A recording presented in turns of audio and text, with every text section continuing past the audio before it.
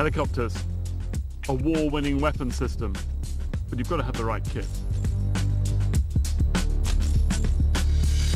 People have been putting weapons on helicopters ever since they first came around 60 years ago. Once you've got helicopters on the battlefield, you've got to protect them. You gave them guns.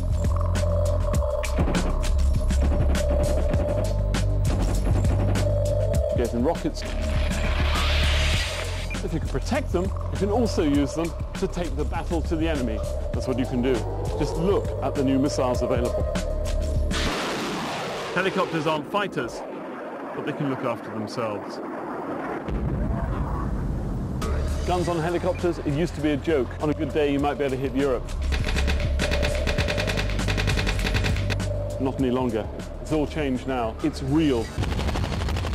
3,000 rounds a minute, ammunition that can rip open a tank. You've got the GIAT mounted system in the turret. It's mounted on Europe's Tiger. And look at the Apache. This is the business.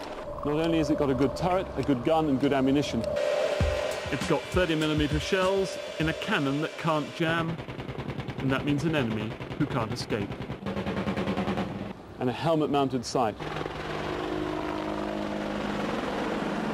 There is no escaping the gun in the turret. You know, the helicopter is really flexible. So the weapon systems have to be that as well, against troop concentrations, against aircraft, fuel dumps, airfields, ammunition dumps, the command posts, even against tanks. Use a rocket, the fin-folding aerial rocket. Variety of warheads, two kilometer range, it's great. Deadly. The technology is improving by the day. If you want to kill tanks, pop up, take out a tank. Problem was guiding it. How do you do it? What about using wires? Two kilometers of wire is a lot of snags. It's not the best thing. It's not that reliable. So what's the ultimate today?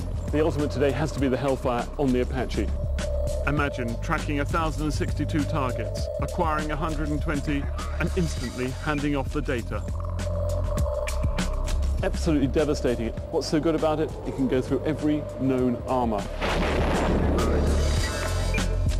And the other good thing, so smart, won't attack your own side. No friendly fire, no blue on blue, no fratricide.